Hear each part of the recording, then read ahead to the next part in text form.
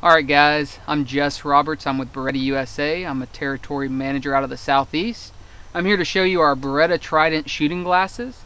These glasses come with three different lenses. You've got the black smoke lens, which is perfect for sunny days.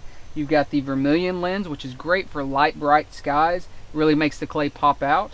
And then you've got the yellow lens, which is great for overcast or early morning or low light situations.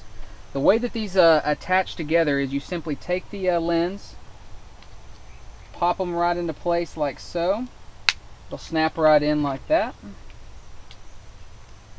And you're good to go. It also comes with a hard case like this. You can find them available at BerettaUSA.com or through our catalog. Go check them out.